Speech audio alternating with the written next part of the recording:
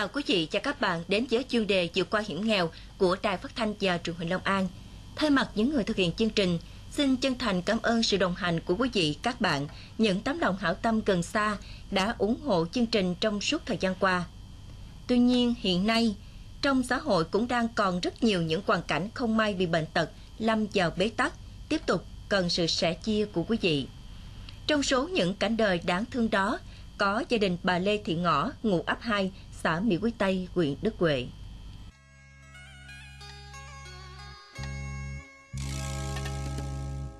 Mấy tháng nay, ngôi nhà nhỏ nằm bên bờ kênh sáng này trở nên buồn bã, lạnh lẽo hơn bao giờ hết. Cách đó không lâu, dưới mái nhà nhỏ này cũng đầy ắp tiếng nói cười vui đùa của trẻ thơ như bao gia đình khác ở cái xóm nghèo dùng biên giới này. Thế nhưng, niềm hạnh phúc tưởng chừng như rất đổi bình thường ấy đã bị cái nghèo, cái khó của bệnh tật làm thay đổi hoàn toàn. Sau một thời gian, bà ngõ lâm bệnh nặng, không chịu nổi cực khổ, túng quẫn, người con dâu của bà dắt hai đứa cháu nội mà bà rất mực yêu thương bỏ đi biệt tích. Giờ chỉ còn bà và anh Khánh, người con trai của bà, sớm tối nương tựa nhau để vượt qua đớn đau của bệnh tật trong nỗi buồn và nhớ nhung tột độ. Số phận nghiệt ngã đã đeo bám bà từ lúc mới trưởng thành đến tuổi xế chiều. Lấy chồng tận hưởng hạnh phúc chưa được bao lâu, thì người chồng đã vĩnh viễn ra đi. Một mình bà phải tảo tần, mua gánh bán bưng, nuôi hai đứa con nhỏ. Dùng biên giới nghèo không có đất sản xuất, bà phải ngày đêm lặn lội gánh rau ra chợ xã bán nuôi hai đứa con. Quá lao tâm lao lực nên sức khỏe của bà cũng nhanh chóng bị bào mòn theo năm tháng. Chứng bệnh tiểu đường đã âm ỉ trong cơ thể bà suốt một thời gian dài. Nhưng vì phải lo chạy ăn từng bữa nên không thể điều trị đến một ngày gần đây khi bà không còn gượng nổi đến bệnh viện thì buộc phải cưa hết một phần ba chân một bên mắt của bà cũng mờ hơn 70% do biến chứng của tiểu đường. Gia đình này á, là nằm trong là 86 hộ nghèo mà gia đình này là coi gặp coi là hết sức khó khăn về coi như là nhà ở rồi rồi bệnh đau. Hiện nay là bà bà, bà cô này á giờ là coi như bị mổ nhưng mà ngược lại là coi không khả năng lành được. Thời gian là coi như đi tái khám nay 3 tháng mà không có tiền để đi là tái khám. Cho nên là coi như hoàn cảnh gia đình này phải nói rằng rất khó khăn. Nếu mà không có coi như là giúp đỡ kịp thời thì cụ này không khỏi khả năng là qua qua cuộc sống được. Bà ngã bệnh lúc trong nhà không có lấy một đồng. Toàn bộ chi phí cho lần phẫu thuật trước nhờ bà con lối sớm dây mượn giúp vết thương sau phẫu thuật không được tái khám thuốc thang đầy đủ nên giờ đã bị nhiễm trùng rất nặng nhưng gia đình vẫn không sao xoay sở ra tiền đưa bà đi bệnh viện. Đến nay đã gần 4 tháng sau ngày phẫu thuật nhưng bà vẫn chưa được đưa đi tái khám lần nào, trong khi bác sĩ yêu cầu phải tái khám trong 2 tuần. Vết nhiễm trùng khiến bà phải luôn sống trong đau đớn. Nhìn thấy bà ngày ngày phải cắn răng chịu đau, anh Khánh rất xót xa, nhưng không biết phải làm gì hơn. Khi thấy mẹ về em cũng đau lòng nhưng mà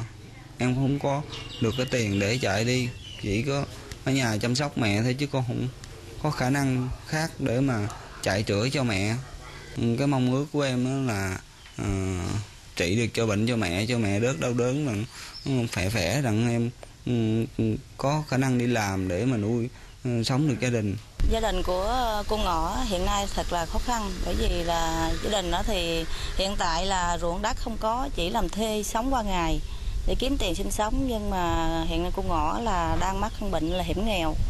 và thói quá cuộc sống rồi bệnh tiểu đường mà đã đi khám là đã ờ, cưa một cái chân. Và bây giờ nó bị là nhiễm trùng là quá nặng. Cho nên nó là mặc dù chính quyền địa phương có vận động nguyên góp trong địa phương để hỗ trợ cho cô nhưng mà nó cũng không đủ cái điều kiện để đáp ứng cái nhu cầu vì vì căn bệnh nó chi tiêu nó khá cao.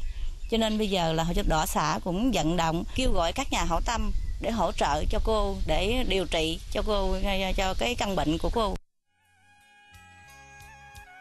Sinh ra trong gia đình khó khăn là một cô cha từ lúc mới lên 3 tuổi, nên anh Khánh chưa được một ngày đến trường đến lớp. Lớn lên, anh chỉ có duy nhất một nghề làm mướn kiếm sống. Từ lúc mẹ bệnh nặng, anh Khánh cũng thôi công việc phụ hồ để chăm sóc mẹ, nên giờ gia đình không còn bất cứ một nguồn thu nhập nào. Thời gian qua, việc ăn uống của hai mẹ con anh phải nhờ đến sự thương tình giúp đỡ của bà con lối xóm. Mỗi ngày, nhìn thấy sức khỏe của mẹ cứ yếu đi, vết thương cứ ngày một nặng hơn. Anh Khánh vô cùng lo lắng. Nhưng trước tình cảnh hiện tại của gia đình, anh đã hết bề xoay sở. Thưa quý vị, mọi sự giúp đỡ của quý vị dành cho gia đình bà Ngõ, xin quý vị gửi về Hội Chữ Thập Đỏ tỉnh Long An, số 3, đường Võ Công Tồn, phường 1, thành phố Tân An, Long An, điện thoại 0723 822 529. Hoặc quý vị có thể giúp đỡ trực tiếp cho bà theo địa chỉ Lê Thị Ngõ, ngụ ấp 2, xã Mỹ Quý Tây, huyện Đức Huệ. Xin cảm ơn. Thưa quý vị, tiếp tục đón nhận tấm lòng nhân ái của các nhà hảo tâm dành cho người nghèo. Trong tuần qua, Hội Chữ Thập Đỏ tỉnh Long An đã nhận được trên 38 triệu đồng và 70 kg gạo. Đây là số tiền và gạo mà gia đình Nguyễn Văn Cu, xã Đức Tân, huyện Tân Trụ, tỉnh Long An được giúp đỡ để có điều kiện chữa bệnh và ổn định cuộc sống. Thay mặt cho gia đình bà Kiều, chúng tôi xin chân thành cảm ơn sự giúp đỡ vô cùng quý báu này. Sau đây là danh sách ủng hộ bà Kiều tính đến ngày 2 tháng 8 năm 2016. Danh sách ủng hộ ông Nguyễn Văn Cu, xã Đức Tân, huyện Tân Trụ, tỉnh Long An, phát sóng ngày 27 tháng 7 năm 2016. Thầy An Lộc và Phật tử chùa Kim Cang 300.000 đồng, Ni sư Tắc Đức chùa Tôn Chân 50.000 đồng, Ni sư An Huệ chùa Phật Huệ 50.000 đồng, tiệm vàng Kim Thành Lý Bến Lức 200.000 đồng, kho thuốc tiếp liệu cám rinfit 190.000 đồng, ban hộ niệm qua sen, gia đình An Thiện, Diệu Minh, Thiện Minh, Chánh Nghiêm Ánh, Chiếu Duyên Mỹ 350.000 đồng, Trần Thị Bận cầm đồ 114, 100.000 đồng, trần Cường Quyên 100.000 đồng, Lê Gia Thanh Sang 100.000 đồng, Anh Hùng Phân 100.000 đồng, Ga Thùy Vũ 100.000 đồng, Gà rán Hàn Quốc 248 Hùng chương 100.000 đồng, Quán ăn Thu Tuyền 100.000 đồng, Hai bé Mai Duyên 50.000 đồng, Thành Đạt Quang Chinh 50.000 đồng, Chú Thiếm Ba Lăng bé Si Game bé Bôn Ngọc Quyền 400.000 đồng, Gia đình chị Thẩm 100.000 đồng, Nam bé Xuân Thư Ngọc Hiện Tài 400.000 đồng, Thùng từ thiện chợ Rịch Kiến 500.000 đồng, Anh Đông công ty Đài Dương 1 triệu đồng, Thanh Thủy Thanh Trúc Thanh Sơn 290.000 đồng. Nhóm bạn xem đài ấp 5 quê Mỹ Thạnh 300.000 đồng, gia đình Như Đình 100.000 đồng, gia đình Như Lan 100.000 đồng, Phật tử chùa Linh Phát 300.000 đồng, Kha Thị Minh Nguyệt Nguyễn Tấn Đắc 300.000 đồng, gia đình Minh Trí 100.000 đồng. Công ty trách nhiệm hữu hạn một thành viên hai cương Nguyễn Văn Hùng, Nguyễn Văn Trường 600.000 đồng và một mền. Trần Thị Kim Loan 70.000 đồng, nhà máy Bảy Huệ, Nguyễn Thị Thu, Châu Quốc Nam 100.000 đồng, Châu Quốc Dương, Châu Nguyễn Kim Tuyền. Nhà máy Bảy Huệ, Nguyễn Thị Thu, Châu Quốc Nam, Châu Quốc Dương, Châu Nguyễn Kim Tuyền 100.000 đồng và 50 kg gạo. Ông Lương Văn Đáng 2 triệu 500.000 đồng, Châu Văn Đỏ 200.000 đồng. Gia đình Thiên Kim, Thiên Tú, Thiên Hợp, Thiên Hảo, Thiên Trị, Tường Di 250.000 đồng, Ngọc Tuyết 500.000 đồng. Thức ăn cho súc qua nhân 125.000 đồng, Bùi Thị Đẹp, Nguyễn Hoàng Oanh 200.000 đồng, nhóm từ thiện nhân ái Tầm Du 100.000 đồng, Cô Nhung, Quế Thanh, Minh Đăng 300.000 đồng, Khánh Linh, Trúc Linh 200.000 đồng, Ngọc Châu, Ngọc Nga 100.000 đồng, gia đình Phát Tuyên 100.000 đồng, Kim Quê, Úc Đức 100.000 đồng, Nguyễn Ngọc Như Ý 100.000 đồng, gia đình Anh Ngọc 200.000 đồng, gia đình Thiện Ân Tâm Hỷ 100.000 đồng, gia đình Úc Bia 150.000 đồng, chị My 50.000 đồng, gia đình anh Hùng Nam Cường 500.000 đồng, anh Công Đạt 250.000 đồng, Trương Văn Khanh 100.000 đồng, Dân Anh Như Anh 100.000 đồng, Lại Thị Nữ 125.000 đồng, Bình Sủng Liên 400.000 đồng, Quỳnh Kim Ngân 100.000 đồng, Nguyễn Cao Nguyên 100.000 đồng, công ty giải trí nhạc sống xanh 300.000 đồng, công ty trách nhiệm hữu hạn Việt Thanh 1 triệu đồng, Tịnh thất thiện tài 400.000 đồng, nhóm cô chính nguyện cầu Úc Diệu Hạnh Úc Thúy Nam Chuyên, Tuấn Hồ, Bác Phúc, Phượng, Tám Nết, Úc Tịch, Dũng Ngoan, Bé Ti, Cậu Nhi 500.000 đồng, bà Sáu Nhường 150.000 đồng, chú Hai Toàn 30.000 đồng, ông bà nội Gia Bảo Gia Minh 200.000 đồng, Quỳnh Chân Lập 150.000 đồng,